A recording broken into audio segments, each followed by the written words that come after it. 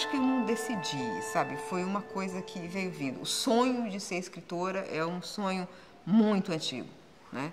Assim, eu me lembro claramente de aos 10 anos estar sonhando com isso, de ser escritora. E eu amo jornalismo. Eu não, não fui para o jornalismo como um atalho, mas é, ser escritora eu, eu precisava ser. Então, às vezes, eu quero escrever o meu livro, estou num momento de inspiração e eu tenho que ler a ata do Copom ou o relatório de inflação, que é um documento é, grande, mal escrito e tal. Eu vivo com esses conflitos. Então, eu tenho que abrir brechas. Eu fui criando estratégias para abrir brechas na minha vida, no meu caminho, nos meus fins de semana, nas minhas férias, para os livros, porque eles são importantes. Os livros me tornam uma pessoa completa.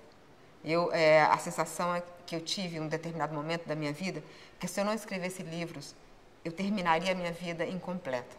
Mesmo sendo uma jornalista que se realizou muito, e eu me realizo a cada dia no jornalismo, mas sem os livros, eu não seria exatamente quem eu sou.